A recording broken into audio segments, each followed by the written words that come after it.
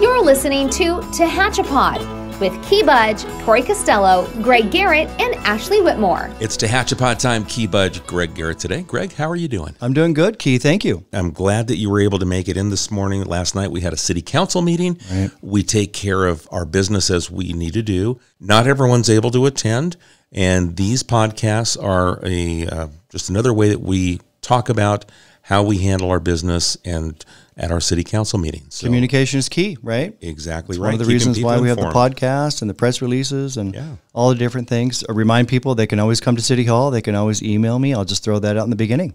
So, uh, several things on the agenda for uh, last night's meeting. Uh, we'll start with Police Chief Standridge honored and thanked Acting Lieutenant Dunham. He was a previous sergeant. We elevated him to the acting lieutenant role for several months, and he was steering the ship at the police department. And man, did he do a great job! He just knocked it out of the park. There's so much more to policing or community policing as we refer to it in Tehachapi. Lots of rules, lots of regulations and and the, the troops, you know, you need a leader. And Dunham stepped up. So we want to say thank you to him. He's been one of our original Tehachapi Police Department members. He's been right. with our organization for 16 years. He understands the city. He loves the city. Mm-hmm. And the other officers and the staff at the police department followed his leadership. Right. So Standridge honored him, thanked him, a letter of commendation. We had a, a letter of a certificate of appreciation from the mayor. And you know, Standridge, he pointed out something to me, and it was it's a good reminder.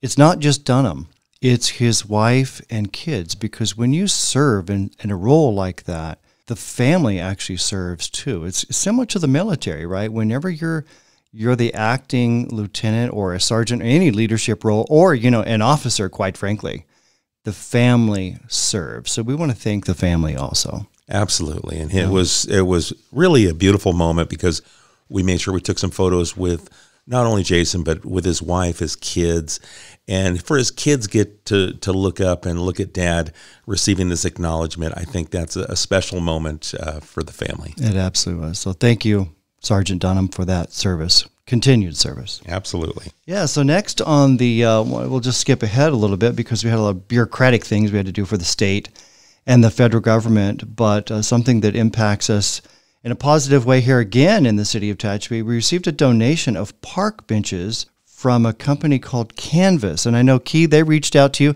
I'm I'm actually switching the role here. I'm being the the host. Why don't you right. tell us a little bit about this project, Key? Absolutely, Greg. a few months ago, Canvus, who's based in Cleveland, Ohio, reached out to us with one of those too good to be true offers, thinking, yeah, it sounds more like a sales pitch, right? Yeah, that's what these guys want to do. They want to talk to us about recycled wind turbine blades, and they're going to be outdoor seating. And it's like, okay, there's going to be a cost that's coming to us. Sounds to me like splinters and fiberglass. Yeah. And what do you mean by that, Key? And they absolutely, uh, what they did is they are a solution to a problem in the renewable industry where these wind turbines that we see off to our east in the hills, those blades time out, they wear out, and they have they go end up filling a landfill, and those are huge blades. So they that was the problem. So this company came up with a design to take the actual blades themselves, these massive blades, and cut them into outdoor seating. And they refine them, and then they also use other composite recycled materials to fill in the seating. So it's pretty cool that we've got photos of these uh, benches that are part of the agenda. But we had a anonymous renewable industry company paid for all of this to be shipped to Tehachapi. So we're going to be one of the first communities to receive this outdoor seating, and it's at no cost to us other than our public works to install it. Uh, and there's no building; it's just a matter of offloading it with a forklift, finding the home, placing it, and that's it. So we estimate it to be about fifty thousand dollars with this order that's uh, was placed, and uh, we are we graciously accept, and we've found a home at Valley Park. Yeah, sounds pretty nifty to me, quite frankly. So these blades are much larger uh, than I think the uh, the layman understands. You know, when you're driving 58 and you look over on the wind wall and you see these giant turbines, giant blades, kind of spinning around. But if you actually get up close to them, they're hundreds of feet long. They're giant fiberglass structures.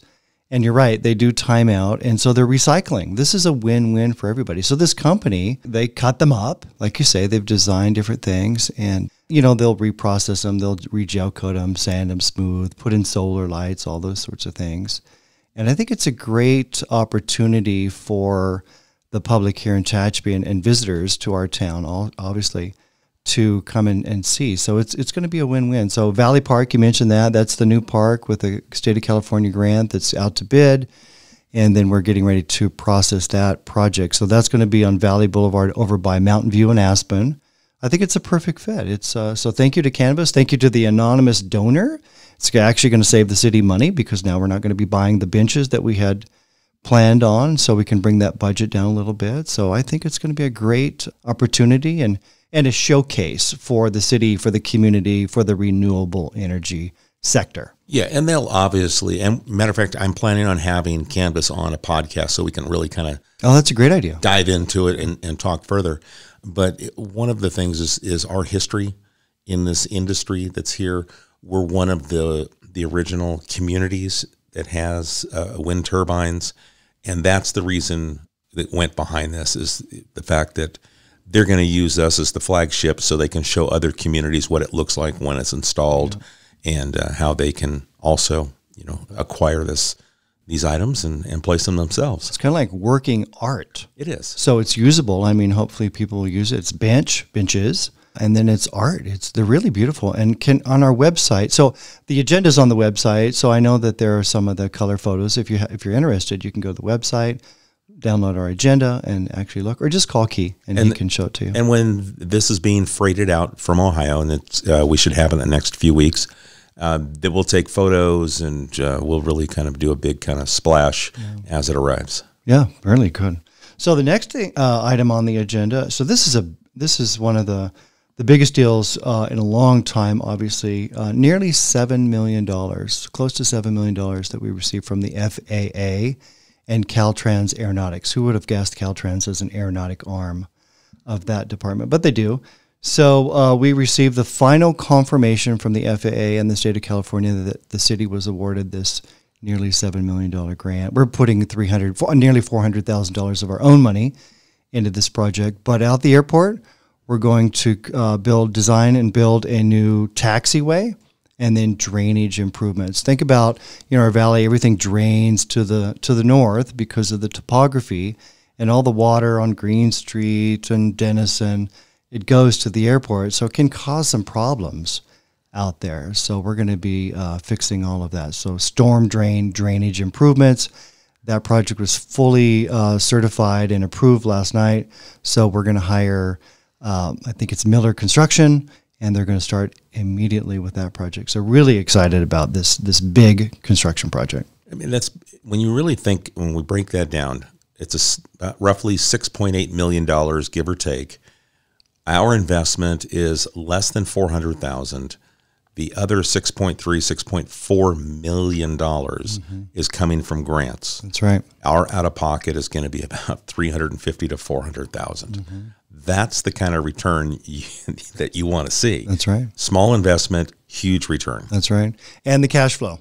Mm-hmm. I was talking to our finance director Hamed and and Ashley, our airport manager. You know, cash flow seven million dollars over the next year. That's a lot of money going through our coffers. But because our budget is healthy, we have that money. Because you talk about grants, you know, FAA doesn't send us you good, know six million dollars, yeah. right? They will reimburse us as time goes by. So we have to front the cash. But uh, Good I'm excited that our budget is healthy, that we can do that. In a, a year from now or so, plus or minus, we're going to have a brand new taxiway and underground storm drains. It's going to continually, you know, the infrastructure is is you know public safety and infrastructure, the maintenance of our town. You know, Measure S.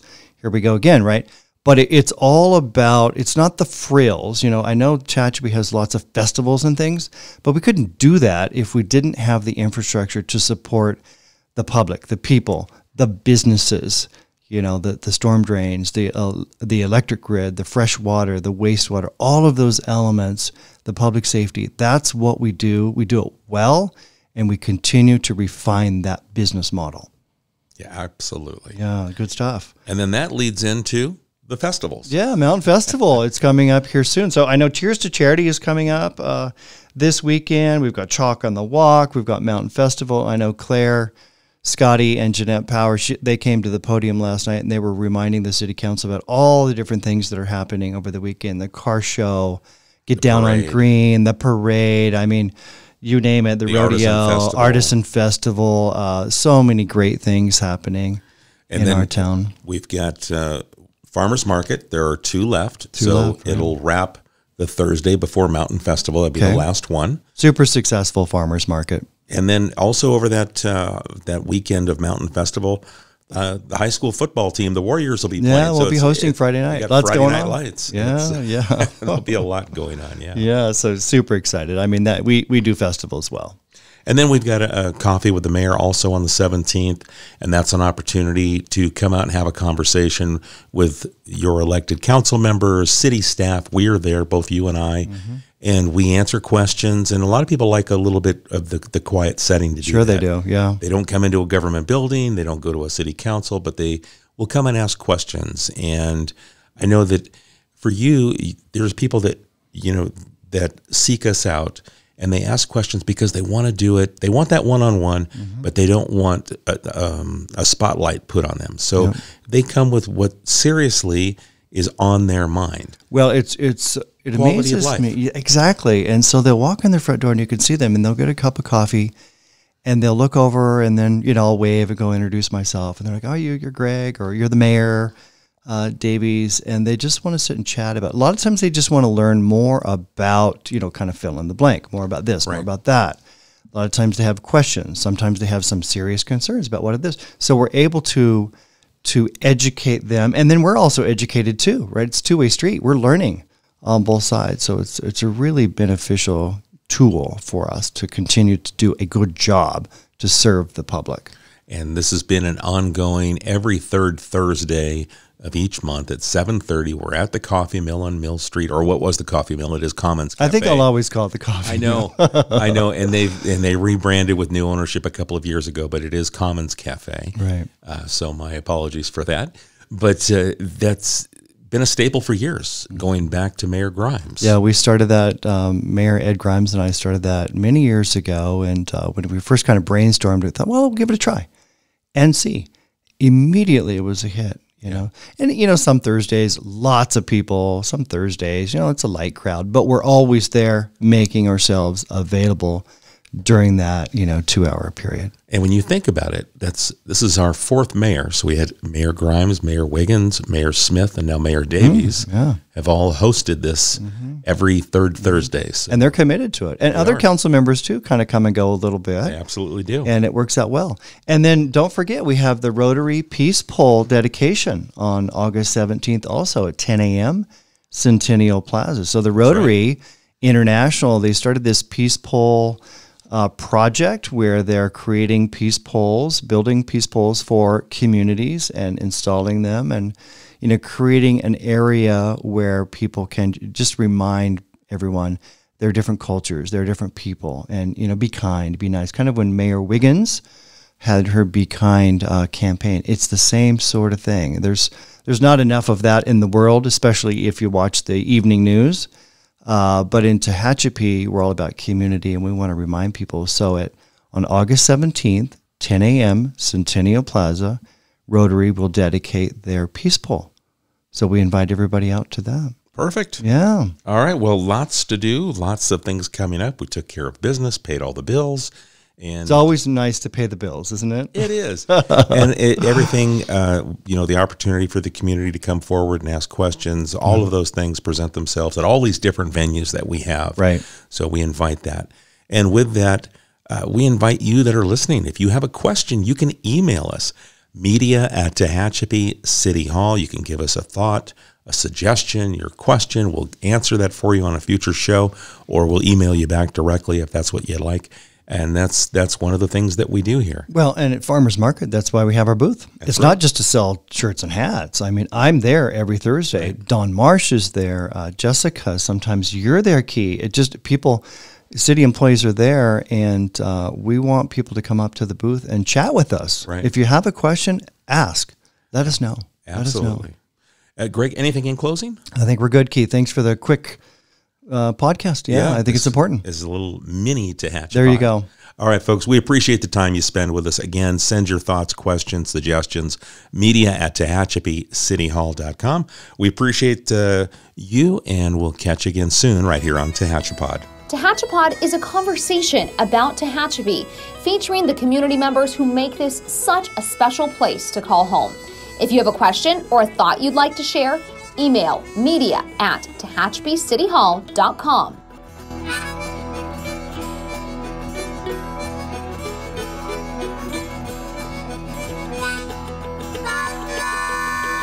Thank you to Gary Mazzola for sharing his song, This is Tehachapi.